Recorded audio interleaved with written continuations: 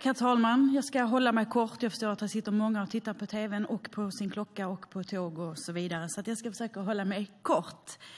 Eh, Sverige brottas i dag med hög arbetslöshet. Särskilt på ungdomssidan är siffrorna alarmerande. Men trots arbetslösheten finns det arbetstillfällen i landet, arbetstillfällen som är svåra att tillsätta på grund av dålig matchning av arbetskraften. För att förbättra ehm, matchningen på arbetskraft gentemot arbetstillfällen, eh, som trots allt faktiskt behövs, behövs fler yrkeshögskoleplatser, vilket jag har pratat om i tidigare anföranden. Eh, yrkeshögskolan har nämligen visat sig vara bra på att matcha utbildning med de lediga arbeten som finns. I vårt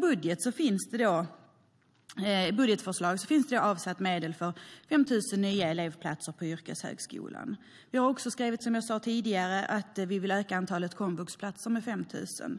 Med denna ökning skulle människor ges en andra chans eh, att skaffa sig kompetens och kunna ta de lediga arbeten som faktiskt finns. Herr talman! Anledningen till att jag säger detta är att, som vi alla vet, de satsningar som många av oss har pratat om i tidigare debatt får eh, i någon mening budgeteffekt eh, när det gäller utgiftsområde 15 Studiemedel.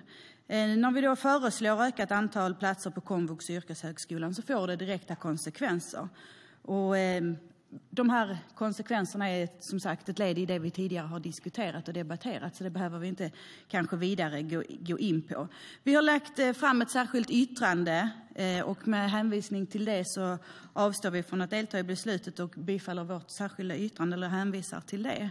Herr talman! Så här i jultider ska man vara snäll mot varandra. så Därför bjuder jag på de extra minuterna jag har kvar på talarlistan och passar på att önska en god jul till talmannen och övriga.